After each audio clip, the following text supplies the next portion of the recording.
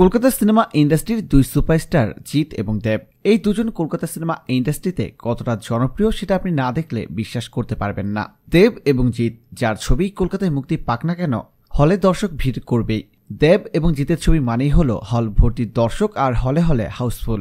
দেবজিতের ছবি মুক্তি মানেই যেন একটা অন্যরকম উৎসব। তবে এই দেব এবং জিতকে নিয়ে রয়েছে নানা রকমের বিতর্ক। তবে এই বিতর্ক তাদের দুজনের মধ্যে নয়, রয়েছে তাদের ভক্তদের মধ্যে।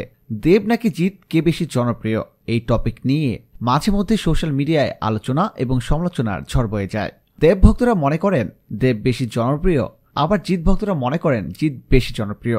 আসলে কে বেশি জনপ্রিয় সেটা সত্যি বলা মুশকিল।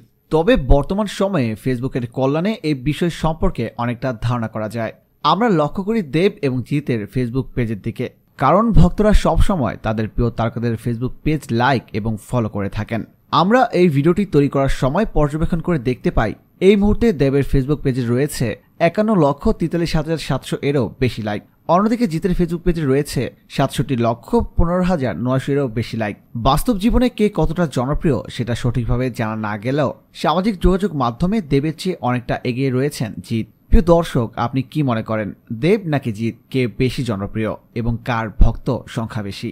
কমেন্ট করে জানিয়ে দিন আর বিনোদন জগতের সকল খবর পেতে এখনই সাবস্ক্রাইব করে রাখুন এস ডি ইউটিউব চ্যানেলটিতে